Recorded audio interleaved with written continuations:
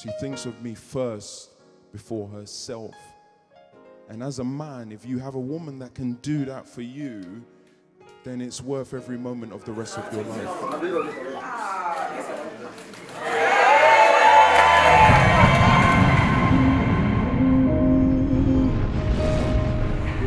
How you feeling though, man? I'm alright. I'm alright. This is one of the things, Melba, you know what's funny? You look cute. Well, obviously, I've known Hannah all my life. I've known Alvin for a few years now. And um, yeah, Hannah's my little sister, man. So it's like you don't want no one taking your little sister away from you, sort of thing. But if anyone's gonna do that, I can't really, you know, think or wish for a better person than Alvin. You're a good dude, you know what I mean? So, wel- welcome, welcome to the family.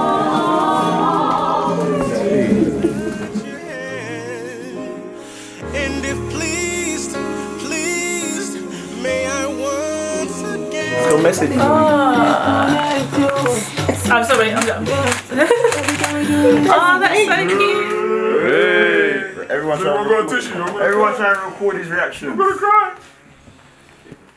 I can't wait till. Oh, she wrote a long message.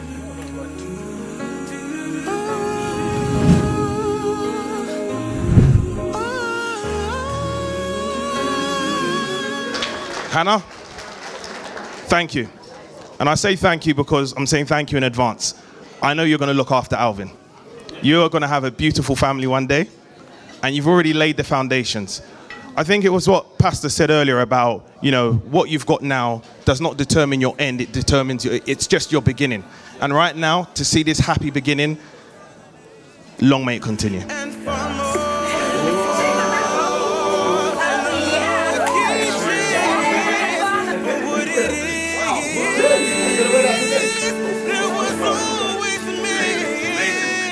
Meant.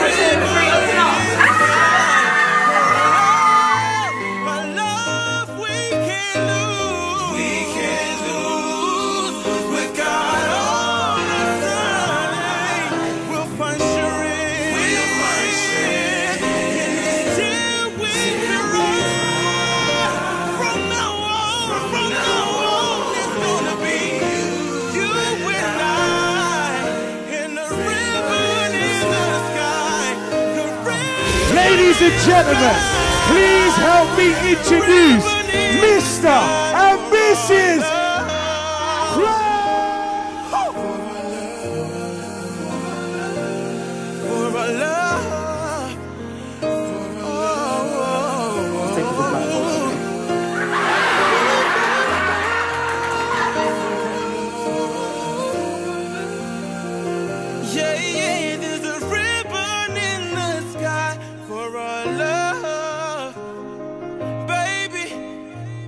To Mrs.